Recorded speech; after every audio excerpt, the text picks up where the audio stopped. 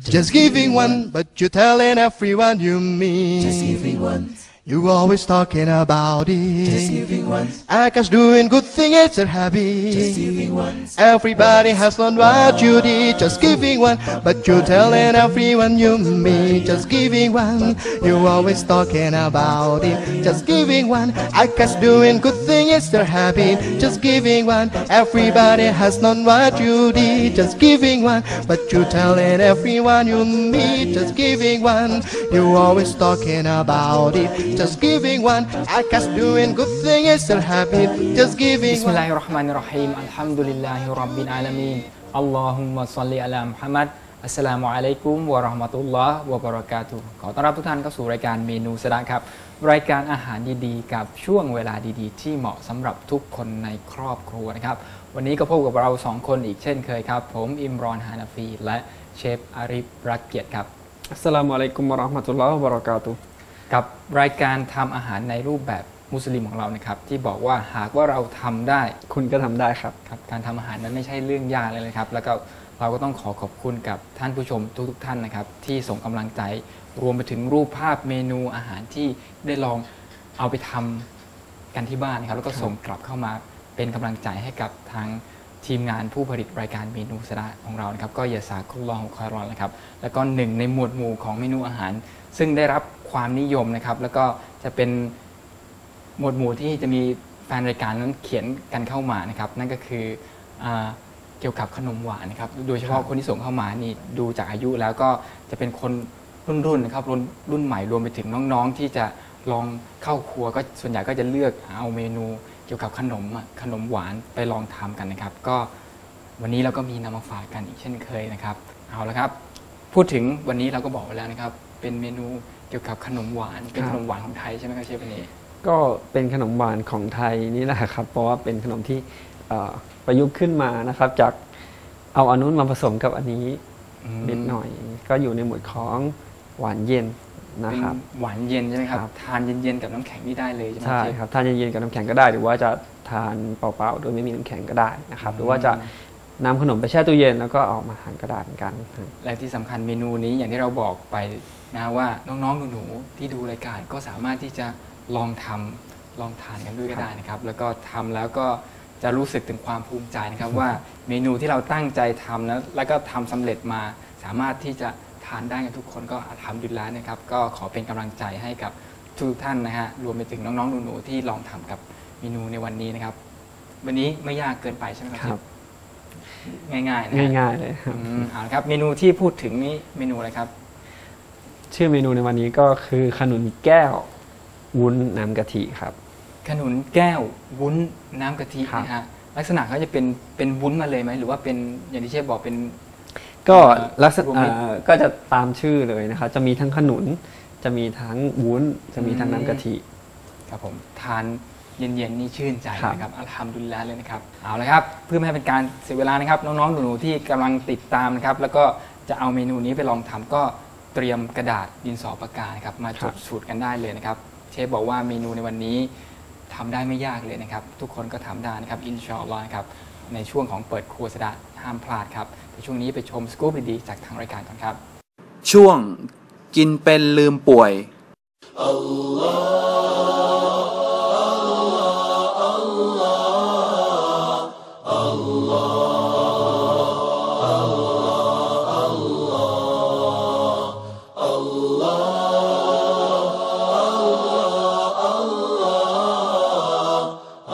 กะหล่ำปลี พืชผักที่นิยมนำมาปรุงเป็นอาหาร ที่ให้คุณค่าทางอาหารอย่างมากมาย โดยมีงานวิจัยระบุว่ากะหล่ำปลี มีกรดทาร์ทาริก ช่วยยับยั้งขัดขวางไม่ให้น้ำตาลและแป้งเป็นไขมันสะสมในร่างกาย จึงช่วยลดคอเลสเตอรอลได้กะหล่ำปลีอุดมไปด้วยสารอาหาร เช่น วิตามินซี แคลเซียม ฟอสฟอรัส และใยอาหาร ในกระหล่ำปี มีวิตามินซีสูงทำให้หวัดหายเร็ว ฟันและเหงือกแข็งแรง ช่วยป้องกันโรคเลือดออกตามไรฟัน ช่วยบำรุงกระดูกและฟัน ลดความเสี่ยงจากมะเร็งลำไส้ ช่วยย่อยอาหารและล้างพิษทำให้นอนหลับสบาย รักษาแผลในกระเพาะอาหารได้ เพราะกระหล่ำปีมีสารต้านการอักเสบของแผลในกระเพาะ และลำไส้ตามธรรมชาติ ช่วยกระตุ้นเซลล์ เยื่อบุกระเพาะ และลำไส้ให้สร้างน้ำคัดหลั่งเคลือบผิว ทางเดินอาหาร จึงป้องกันไม่ให้เกิดแผลจากกรดในกระเพาะอาหารได้ นอกจากนี้กระหล่ำปี ยังช่วยบรรเทาอาการปวดตึงคัดเต้านม การนำกระหล่ำปีมาประคบเต้านม โดยลอกกระหล่ำปีออกเป็นใบ แล้วนำมาประคบที่เต้านมข้างละใบ ใช้ผ้าพันทิ้งไว้ 20 นาที โดยไม่ต้องนวดคึง อาการปวดบวมคัดตึงจะหายไปสำหรับการนำกระหล่ำปีไปประกอบอาหาร เช่น การนึ่ง อบ หรือผัด จะช่วยคงคุณค่าสารอาหารในกระหล่ำปีไว้ได้ดีที่สุดค่ะ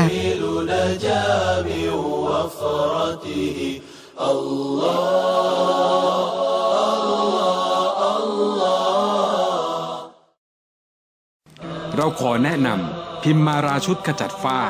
ผสม alpha arbutin เพียงชุดละ 400 บาทเท่านั้น และชุดรักษาฝ้าชุดใหญ่ พร้อมโบท็อกซ์ทองคำและ triple stem cell serum เพียงชุดละ 1,900 บาทเท่านั้น และขอเสนอ พิมมาราชุดหน้าใสในขนาดทดลอง เพียงราคา 400 บาท และชุดหน้าใสขนาดใหญ่ พร้อมโบท็อกซ์ทองคำในราคาเพียงชุดละ 1,100 บาทเท่านั้น โอกาสดี รับตัวแทนจำหน่ายทั่วโลก พร้อมช่วยโปรโมทการขายสาขาของคุณ ผ่านทั้งสื่อทีวี ด่วน รับเขตละหนึ่งสาขาเท่านั้น โทรด่วนหาเราตอนนี้ที่ 091 108 0035 091 108 0035 อันอามีน สินค้าคุณภาพจริงใจ ซื่อตรง เชฟใส่เลยครับ ไม่บอก อร่อยไหมอืมอร่อยจังครับ อยากรู้ไหมว่าทำไมถึงอร่อย เดี๋ยวเราไปดูกันครับ ที่นี่ที่ไหนครับ นี่แหละที่มาของความอร่อย ผงปรุงรสไก่ไทยเชฟ ผัดทอด หมัก ยำ ทำได้หลายเมนู นี่แหละครับ คือที่มาของความอร่อย ไทยเชฟ คู่ครัว คู่คุณ 02 968 3723ถึง6 The blue sky is blue like blue bubble gum, but it prays to Allah. It prays to Allah and like the flavor of the blue sky and the bubble gum won't last. We've got to thank Allah before our chances go past.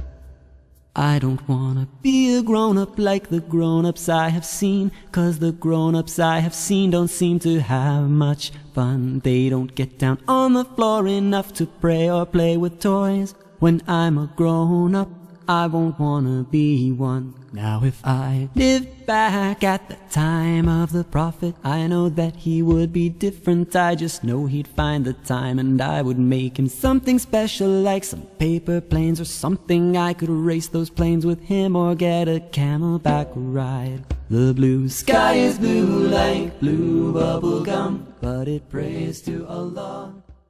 ช่วงเปิดครัวสะดะ สนับสนุนโดย ผลิตภัณฑ์ผงปรุงรสไก่ไทยเชฟ ผัด ทอด หมัก ยำ ไทยเชฟ คู่ครัว คู่คุณ ร้านอาหารบ้านปี้เฮือนน้อง ขันโตกมุสลิมเชียงใหม่ สำรองที่นั่ง 081 595 8810 ฟาริดาช็อปเครื่องเทศ และฟาริดาช็อปฮับปะตุสเซาดะน้ำมันสกัดแท้ร้อยเปอร์เซ็นต์กลับเข้ามาสู่ช่วงเปิดครัวซะแล้วนะครับ วันนี้ เราจะมาเปิดครัวนะครับทำเมนูขนมหวานอร่อยอร่อยเย็นเย็นๆ ชื่นใจนะฮะ แล้วก็เป็นเมนูที่เชื่อว่าทุกท่านก็ทำได้นะครับ ไม่ยากจนเกินไปนะฮะ ครับแต่ก่อนอื่นครับ เรามาทำความรู้จักกับเครื่องปรุงและวัตถุดิบของเมนูในวันนี้กันครับ ครับส่วนผสมของเมนูนี้ก็จะมีแมงลัก อันนี้เอาไปแช่น้ำก่อนนะครับ ให้พร้อมแล้วก็น้ำกะทิ ครับผม มะพร้าวอ่อนนะครับมะพร้าวอ่อนอันนี้ใช้เป็น ทั้งเนื้อทั้งน้ำเลยนะครับอืมแล้วก็จะมีขนุน อันนี้ต้องเลือกเป็นขนุนที่ไม่สุกมากนะครับ ถ้าเกิดว่าเลือกเป็นขนุนที่สุกมากเกินไปเวลาเราเอาไป เพราะว่าเดี๋ยวเราจะเอาไปเชื่อม พอเราเอาไปเชื่อมเป็นขนุนเขาจะเละถ้าเกิดสุกมากไปนะครับ แล้วก็ถัดมาก็จะเป็นลูกชิดอือฮึนะครับ น้ำตาลทรายผงวุ้นแล้วก็สีผสมอาหาร วันนี้เลือกเป็นสีเขียวนะครับเอาละครับ และนี่ก็คือเครื่องปรุงและวัตถุดิบทั้งหมดขของเมนูในวันนี้นะครับ นั่นก็คือเมนูขนุนแก้ววุ้นกะทิครับ I look, I look, I look, I see. I see a world of beauty. I touch, I touch, I touch, I feel. I feel the world around so real. And everything I do, I dedicate to you. Cause you made me, I am for you. I listen, listen, listen, I เอา hear. ละครับเชฟเมนูขนมขนุนแก้ววุ้นกะทิในวันนี้เราจะเริ่มในส่วนไหนก่อนครับเชฟเราตั้งน้ำก่อนเลยนะครับ เพราะว่าเดี๋ยวเราจะทำวุ้นเพราะเดี๋ยวตั้งน้ำให้เดือดก่อนนะครับในขณะตอนคืที่อเราเราเราจะแยกทำในส่วนของวุ้นก่อนต่างหากใช่ไหมครับเชฟใช่ครับ อืมตอนนี้เราก็เพราะว่าเดี๋ยวเราต้องรอให้วุ้นเขาเซตตัวก่อนอืมนะครับ พอเราเรารอน้ำเดือดเราก็มาเตรียมขนุนนะครับ อันนี้เราก็ หั่นเลยแบบนี้ยาวๆเลยครับเส้นบางๆแบบนี้นะฮะครับอย่างที่เชฟบอกก็พยายามเลือกใช้เป็นขนมที่เขาเรียกหามๆหน่อยใช่ไหมเชฟใช่ครับไม่ต้องถึงกับสุกมากเพราะเดี๋ยวเวลาไปเชื่อมเขาจะเละใช่ไหมฮะครับนี่ก็น้ำเดือดแล้วนะครับเราก็บิสมิลลาห์ครับเดี๋ยวเราเติมน้ำมะพร้าวลงไปก่อนนะคร้รับอนนะครับเชฟอันนี้ใส่น้ำมะพร้าวไปก่อนนะครับ ใช่ครับ ปริมาณนี่ประมาณเท่าไหร่ครับหนึ่งลูกเลยหนึ่งลูกเลยหนึ่งลูกเลยนะฮะ อืมวันนี้ใช้ทั้งเนื้อทั้งน้ำเลยนะครับ ครับ ทีนี้ให้เขาเดือดอีกรอบหนึงใช่ไหมฮะ ใช่ครับ เดี๋ยวผมดูในส่วนของวุ้นให้ไหมครับเชฟเดี๋ยวพอเรารอน้ำเดือดแล้วเราก็จะใส่ผงวุ้นลงไป อืมครับ แล้วก็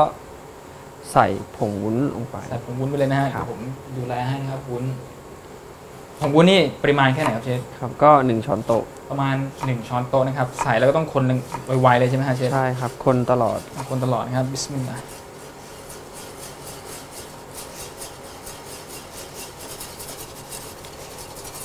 เชฟบอกนะครับว่าผงวุ้นนี่ใส่ต้องคนใช่ไหมถ้า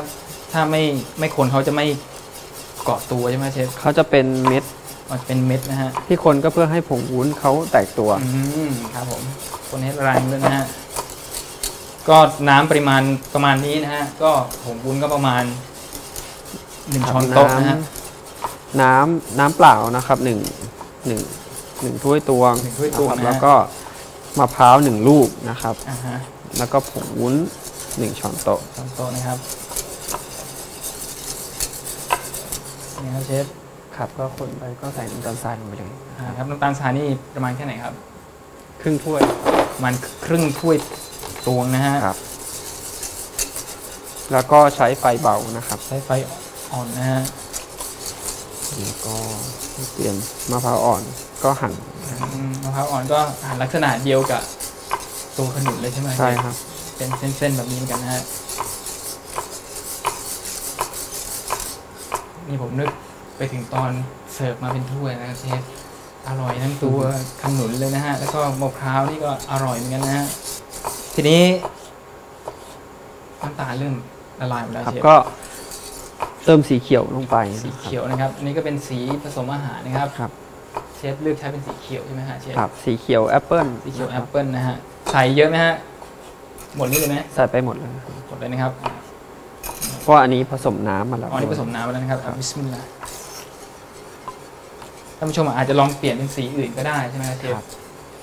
ครับ แล้วก็ใส่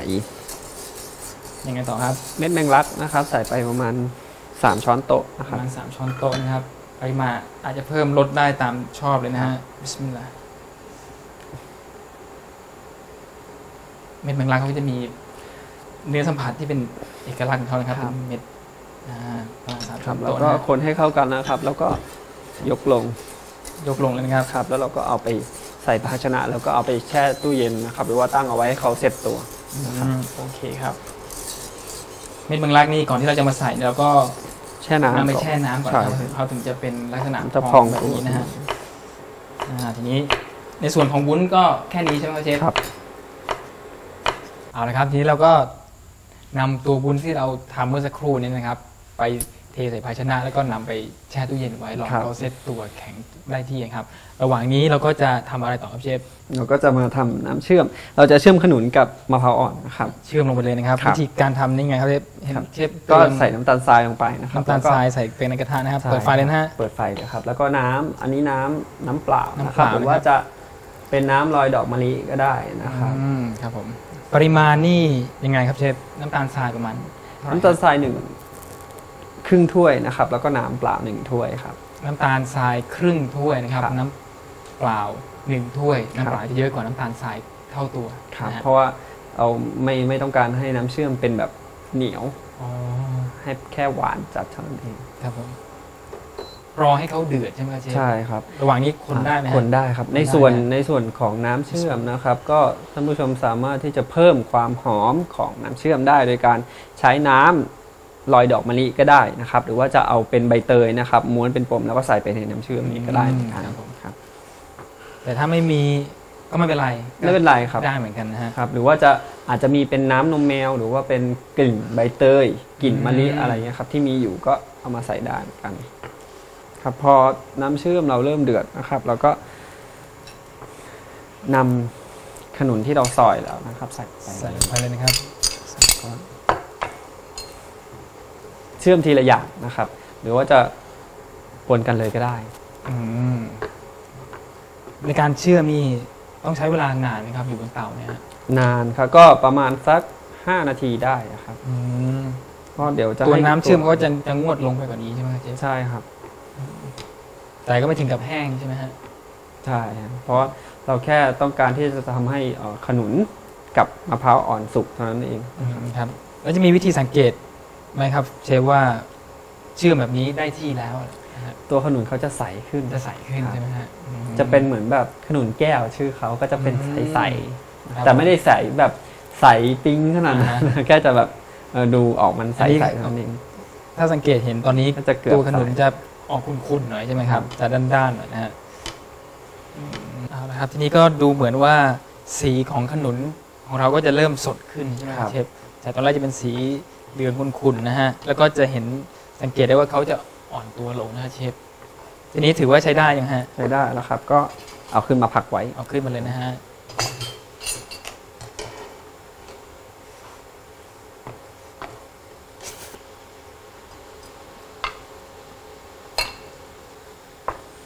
นี่ครับมะพร้าวอ่อนใส่มะพร้าวลงไปเลยนะครับ ใช้น้ำเชื่อมอันเดิมได้เลยใช่ไหมเชฟครับ ก็ลักษณะก็คล้าย ๆ เหมือนกับการเชื่อมขนมเมื่อสักครู่นะฮะมะพร้าวก็ทำลักษณะเดียวกันกับขนุนเลยเชื่อมเหมือนนะครับตัวขนุนเลยใช่ไหมครับครับแล้วหลังจากนี้ต้องทำอะไรต่อครับแล้วเราก็จะมาเตรียมน้ำกะทิกันแล้วก็มาจัดจานเสิร์ฟกันเลย โอเคครับเอาละครับทีนี้เราก็ได้ทั้งในส่วนของ ขนุนเชื่อมนะครับ แล้วก็ครับมะพร้าวเชื่อมเป็นที่เรียบร้อยแล้วนะครับ ก็เอาขึ้นมาพักไว้แบบนี้นะครับ ทีนี้ยังไงต่อนะครับเชฟน้ำกะทินะครับ เราก็จะทำการ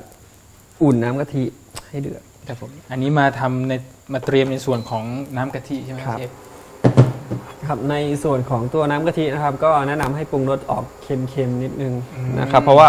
เอ่อเครื่องปรุงอื่นๆเขาก็จะมีรสชาติหวานหวานๆกันอยู่แล้วอย่างเช่น ขนุนเชื่อมแล้วก็มะพร้าวอ่อนเชื่อมนะครับก็จะมีรสชาติหวานจัดอยู่แล้ว ตัววุ้นของเราที่วุ้นก็หวานนำไปแช่เย็นก็มีรสหวานครับด้วยนะเพราะเราใส่น้ำตาลไปด้วยนะครับฉะนั้นตัวน้ำกะทิเชฟแนะนำให้เป็นออกเค็มนิดอนึองกเค็มนิดนึงครับเพื่อเวลาทานร่วมกันจะได้ครับรสชาติที่ลงตัวนะครับ และกะทิที่เชฟใช้นี่เป็นกะทิอบควันเทียนมาด้วยใช่ไหมใช่เชฟครับกลิ่นหอมแบบขนมไทยเลยนะฮะทีนี้กะทิ เริ่มเดือดแล้วครับเชฟครับ ก็เดี๋ยวคนในส่วนของน้ำกะทินี่ต้องต้องใส่อะไรบ้างครับเชฟก็เดี๋ยวใส่เกลือไปนิดหน่อยนะครับเอาละคครัรับบพอเดือดเราก็เติมเกลือป่นลงไปนิดหน่อยนะครับ เกลือไปเล็กน้อยนะฮะครับแล้วก็คนสักพักแล้วก็ปิดไฟนะครับใส่ได้เลยนะครับครับ อย่าตั้งให้เขาเดือดนานนะครับ เพราะว่าเขาจะแตกมันได้นะครับอืมขนมหวานไม่ต้องการให้กะทิแตกมันนะครับครับผมนี่ก็คือในส่วนของน้ำกะทิมีแค่นี้เองตั้งครับไฟให้เดือดแล้วก็เติมเกลือไปเล็กน้อยครับนะฮะ ก็ได้เลยนะฮะ ครับนี่ก็เสร็จแล้วแล้วก็เดี๋ยวเราให้เขาเย็นตัวสักพักแล้วก็เดี๋ยวเราก็ไปดูวุ้นกัน แล้วก็จัดจานกันเลยครับเอาละครับเดี๋ยวเรามาจัดจานกันเลยครับเอาละครับ หลังจากที่เราเตรียมทุกอย่างเสร็จสับได้ที่นะครับ ก็จะมีตัววุ้นซึ่งก็เซตตัวได้ที่นะครับ แล้วก็จะมีในส่วนของขนุนเชื่อมแล้วก็มะพร้าวอ่อนเชื่อมนะครับครับแล้วส่วนสุดท้ายนั่นคือน้ำกะตัวทิน้ำกะทินะครับ แล้วก็ มีลูกชิดด้วยทีนี้มีลูกชิดด้วยนะครับ ทีนี้ก็มาถึงขั้นตอนของการจัดจานพร้อมเสิร์ฟกันครับเลยนะครับเชฟเชิญเชฟครับ อันนี้วุ้นก็เราก็ตั้งใจที่จะทำให้เป็นออกเจลลี่หน่อยอืมนะครับ ถ้าต้องครัการบให้วุ้นแข็งตัวมากขึ้นนะครับเซ็ตตัวมากขึ้นก็ใส่ผงวุ้นเพิ่มเติมเข้าไปนะครับอืมครับผม เรียกว่าได้เมนูนี้ด้วย สามารถที่จะทานเป็นวุ้นเปล่าๆได้ด้วยใช่ไหมเชฟใช่เพราะวุ้นก็จะมีรสหวานอยู่แล้วนะฮะครับ เชฟก็ใส่มะ พร้าวอ่อนเชื่อมลงไปนะฮะครับ เสร็จจากอ่าลูกชิดนะฮะ นี่ก็ราดน้ำกะทิไปเลยนะครับเชฟครับอืมเอาน้ำกะทินี่ก็ใส่ไม่เยอะนะครับ ครับ เล็กน้อยนะครับ ขนุนของเรานะครับ ที่ผ่านการเชื่อมมาเรียบร้อยนะครับอื้อหือเชฟดูสีสันนี่เขา ตัดกันสวยงามเลยนะครับ ข้างล่างเป็นสีเขียวตัดกับสีเหลืองนะครับ มีสีขาวขั้นกลางด้วยนะฮะครับ เสร็จเรียบร้อย เสร็จแล้วนะครับครับเรียบร้อยนะครับ เป็นไงครับ กับเมนูขนุนแก้ววุ้นน้ำกะทิครับ ช่วงหน้าครับช่วงสะดะชวนชิม ก็จะถึงเวลาที่เราจะได้มาลองชิมกับเมนูขนมจานนี้แล้วครับ Did you ever hear about the boy who ate and ate and ate? He ate early in the morning and he ate when it was late. But he didn't thank Allah for all the yummy food he had. He ate so much it made him sick, which really made him sad. He ate dates in Damascus, which he thought were very nice. Had samosas in Sumatra, seasoned with a special spice. He had tacos in Tijuana with some sauce he got from Spain. And a bowl of fresh baklava that he boughted in Bahrain. He said gyros made in Cairo are a taste that can't be beat. And the lemonade in Yemen ท่านผู้ชมที่เคารพครับ ผมเชื่อว่าปัญหาหนึ่งของคนที่อยู่กับครัว คุณพ่อครัวคุณแม่บ้านทั้งหลาย ก็คือเรื่องของมีดใช่ไหมครับ เดือนหนึ่งอาจจะหมดมีดไปหลายเล่ม วันนี้ปัญหาต่างๆ เหล่านั้นจะหมดไปครับ เจ้าเครื่องนี้มีชื่อว่า Amazing Cut เจ้ามีดนี้เนี่ยนะฮะที่หลายคนอาจจะโยนมันทิ้งไปแล้วก็ได้ เพราะว่ามันไม่คมหันเท่าไหร่มันก็ไม่อย่างนี้ยครับปัญหาต่างๆเหล่านี้ลืมไปได้เลยครับนำเจ้ามีดเนี่ยนะครับสอดเข้าไปแล้วก็รูดเจ้ามีดเนี่ยนะครับ ไปทางลูกศร มาดูความเปลี่ยนแปลงที่จะเกิดขึ้น เพียงคุณวางมีดลงไปเบาๆครับท่านผู้ชมที่เคารพครับ อันอามีนขอเสนอ Amazing Cut ในราคา 950 บาท ไม่ใช่แค่ 2 อัน 3 อัน 4 อัน แต่เราให้ถึง 5 อัน พร้อมค่าจัดส่งฟรีทั่วประเทศ ด่วนสินค้ามีจำนวนจำกัด อันอามีน โทร 091 108 0035 อันอามีน สินค้าคุณภาพจริงใจ ซื่อตรง คุณเคยคิดไหมว่า จะดีแค่ไหน ถ้าความอร่อย รอยยิ้ม และความสุข สามารถส่งผ่านถึงใครๆอีกหลายๆ คนได้ วันนี้ทุกครั้งที่คุณซื้อ คือทุกครั้งที่คุณได้ให้ ให้ผลิตภัณฑ์แปรรูปเนื้อสัตว์ ตรา รอบีอา ร่วมสร้างสังคมแห่งการแบ่งปัน เติมรอยยิ้มอิ่มความสุข สู่สังคมร่วมกันตลอดไป สนใจร่วมธุรกิจหรือสั่งซื้อโทร 081 848 1018 แนวทางของท่านนบีมุฮัมมัดสลลัลฮุอะลัยฮิวะสัลลัมถือเป็นต้นแบบของมนุษยชาติ ที่ครอบคลุมเรื่องการดำเนินชีวิตทั้งหมด รวมถึงเมื่อยามเจ็บป่วย ท่านได้แนะนำ ยาที่รักษาได้ทุกโรค ยกเว้นโรคตาย นั่นก็คือฮับปะตุสเซาดาจากกระแสตอบรับเป็นอย่างดีทำให้วันนี้ฮับปะตุสเซาดาของยาตีมทีวี มียอดจำหน่ายถล่มทลาย ถึงวันนี้ยาตีมทีวี ขอแบ่งปันโอกาสดีให้ผู้สนใจ เป็นตัวแทนจำหน่ายทั่วประเทศ พร้อมรับเงื่อนไขพิเศษ ฮับบะตุสเซาดะ3กระปุก 1,000 บาท 20 กระปุก 6,000 บาท สั่ง 100 กระปุก ลดเหลือกระปุกละ 270 บาท เท่านั้นยังไม่พอ แถมป้ายโฆษณาตัวแทนจำหน่ายอีก 1 แผ่น และช่วยโปรโมทสถานที่จัดจำหน่ายผ่านยาตีมทีวี โอกาสดีมีไม่มาก รีบติดต่อด่วน โทร 02 530 3199 02 530 3199 หากคุณกำลังมองหาอะไรที่สะดวก รวดเร็ว ง่าย ไม่ยุ่งยาก ต้องนี่ Magic Bullet เครื่องปั่นอเนกประสงค์ ไม่ว่าจะเป็นเมนูอาหารประเภทใด Magic Bullet ช่วยคุณได้ เพียงแค่ใส่สิ่งที่คุณจะปั่นลงไป ปิดฝา แล้วก็กดเบาๆ ภายในเวลา 10 วินาทีเท่านั้น การเก็บทำความสะอาดก็ง่าย ไม่ยุ่งยาก และยังมีคุณสมบัติทนทานกับความร้อนอีกด้วย Magic Bullet 1 ชุด ในราคาเพียง 1,900 บาท พร้อมอุปกรณ์เสริมอีกมากมาย สั่งซื้อโทร 02 530 3199 เลือกชีวิตง่ายๆ เลือกใช้ Magic Bullet เบื่อไหม กับการที่คุณทำเมนูสารพัดไก่ในแต่ละครั้งต้องใช้อุปกรณ์มากมายเช่นนี้ แต่ปัญหาเหล่านี้จะหมดไปเพียงแค่คุณมี เครื่องทำเมนูสารพัดไข่ทันใจ ที่จะทำให้คุณไม่ต้องทำใจ ในเวลาที่ต้องการทำเมนูสารพัดไข่ของคุณ เพราะทั้งสะดวกรวดเร็วใช้เวลาเพียงเล็กน้อย เพียงแค่ 3-7 นาทีเท่านั้นก็จะทำให้เมนูไข่ทอด ไข่ลวก ไข่ต้ม ไข่ตุ๋นที่คุณต้องการ เป็นเรื่องง่ายและสะดวกรวดเร็วทันใจ ด้วยเครื่องทำเมนูสารพัดไข่ทันใจ เราขอเสนอขายให้คุณในราคาเพียง 380 บาทเท่านั้น ฟังไม่ผิดหรอกครับ โทรมาตอนนี้เลยที่ 02 530 3199ยตีมทีวี แล้วเรื่องไข่จะกลายเป็นเรื่องง่ายๆ ช่วงสดะชวนชิม สนับสนุนโดย ร้านอาหารฮาลานคิทเช่น หนองจอก น้ำดื่มศรัทธา น้ำสะอาดจากศรัทธาชน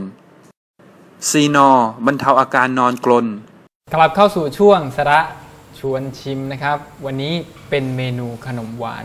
ซึ่งเอามาฝากให้กับท่านผู้ชมนะครับ วันนี้เห็นหน้าตา สีสันสวยงามครับ เลยทีเดียวนะครับ ข้างล่างนี่จะเป็นตัววุ้น ซึ่งมีลักษณะเป็นสีเขียวนะครับ ในตัววุ้นก็จะมีในส่วนของเม็ดแมงลักด้วยนะครับครับ แล้วก็จะมีรสชาติหวานด้วยนะฮะแล้วก็ข้างบนนี่ก็ถัดมาก็จะเป็น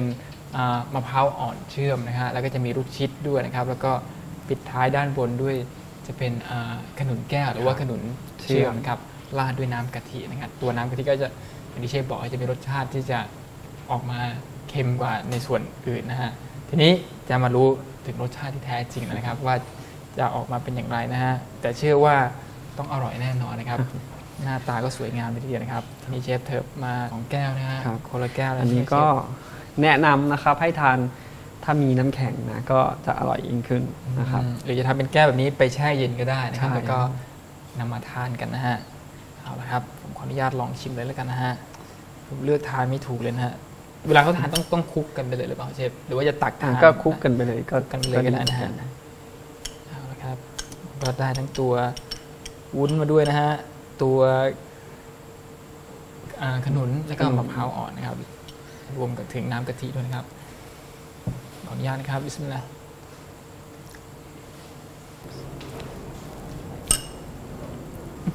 ทำดูได้เลยครับเชฟรสชาตินี่อร่อยเลยนะฮะจะคล้ายๆกับอ่า ทับทิมกรอบเหมือนกันนะครับเชฟเพราะในส่วนที่คล้ายกับทับทิมกรอบน่าจะเป็นในส่วนของน้ำกะทินะฮะแล้วก็จะมีรสชาติหวานนะครับ มาพูดถึงในส่วนของอาวุ้นกันเลยวุ้นก็จะมีรสชาติหวานนะครับพอทานรวมกันนี่ตัววุ้นก็จะมีตัวเม็ดแมงลักที่จะมีเวลาเราทานไปจะกรึบๆนะครับเชฟแล้วก็วุ้นที่เชฟทำมาในวันนี้เชฟบอกว่าตั้งใจที่จะเป็นอะประมาณเยลลี่ เหมือนกับครัเราบเราทานเยลลี่เหมือนเหมือน ไม่ใช่ทานวุ้นนะเหมือนจะเป็นทานครับเยลลี่มากกว่านะฮะแล้วก็ในส่วนของอามะพร้าวนะฮะแล้วก็ตัวขนุนก็จะมีรสหวานนะครับ พอรวมเข้ากับน้ำกะทิ ซึ่งน้ำกะทิก็จะมีอ่ากลิ่นหอมนะฮะเป็นกลิ่นหอมอบควันเทียนใช่ไหมครับเชฟครับใช่อืมแล้วพอทานไปยิ่งไปเจอในส่วนของขนุนขนุนเวลาทานไปเขาจะมีรสชาติซึ่งเป็นเอกลักษณ์ของเขานะจะออกอาอมเปรี้ยวนิดๆครับแล้วก็หนนะเขาครับมีกลิ่นหอมในตัวด้วยอืมนะครับครับ เรียกว่าเมนูนี้อร่อยเลยทีเดียวนะครับทำได้ไม่ยากด้วยนะครับสำหรับเมนูในวันนี้ครับเป็นไงครับเชฟครับก็ท่านผู้ชมสามารถที่จะดัดแปลงใส่ผลไม้อื่นๆ ลงไปด้วยก็ได้นะครับ อย่างเช่นเป็นฟักแช่อิ่มก็ได้ฟักก็ได้นะฮะครับหรือว่าอืมจะเป็นเม็ดทับทิมครับก็ใส่เพิ่มลงไปได้ อันนี้ก็ทับทิมเขาก็จะเพิ่มสีสันขึ้น ก็จะมีสีเขียวสีเหลืองสีแดงอยู่ในนี้อืมครับรวมไปถึงในส่วนของวุ้นนี่เชฟก็บอกว่าสามารถที่จะเปลี่ยนเปลี่ยนสีสีได้ก็ได้นะครับ แต่ผมพูดว่าเออพูดถึง สีเขียวที่เชฟใช้วันนี้ก็เข้ากันได้ดีกับตัวสีเหลืองสีเหลืองคขรัอบงขนุนเลยนะฮะ ครับ อร่อยเลยทีเดียวนะครับสำหรับเมนูในวันนี้นะครับลองทำกันดูได้นะครับไม่ยากเลยเวลาแขกไปใครมานะครับ แล้วก็มีขนมดีๆน่ารับประทานแบบนี้นะครับ อร่อยอร่อยแบบนี้เสิร์ฟให้กับเขานี่อัลฮัมดุลิลลาห์เลยเลยครับ เอาละครับ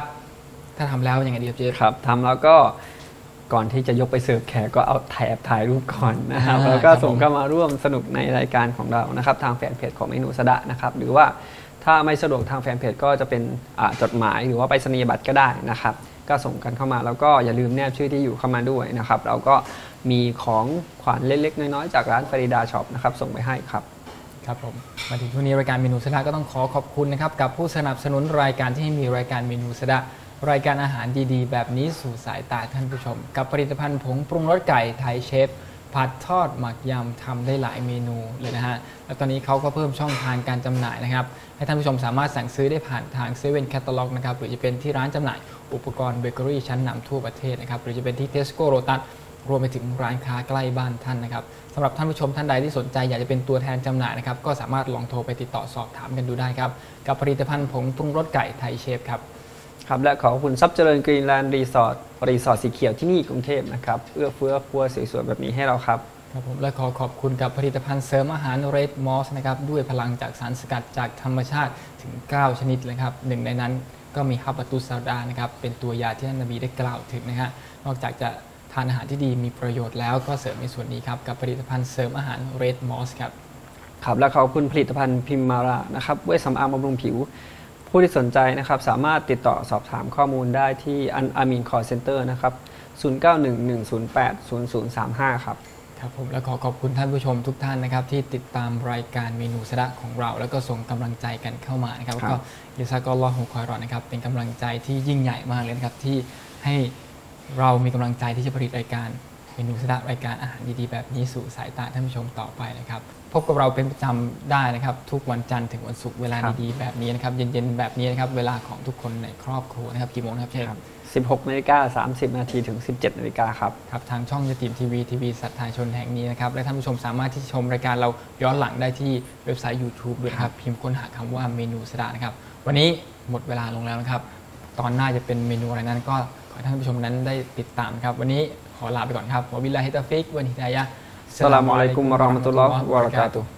Just giving one, but you're telling everyone you meet. Just giving one. You always talking about it. Just giving one. Akash doing good thing, it's a habit. Just giving one. Everybody has learned what you did. Just giving one, but you're telling everyone you meet. Just giving one. You always talking about it. Just giving one. I Akash doing good thing, it's their habit. Just giving one. Everybody has known what you did. Just giving one, but you're telling everyone you meet. Just giving one. You always talking about it. Just giving one. I Akash doing good thing, it's their habit. Just giving one. Everybody has known what you did.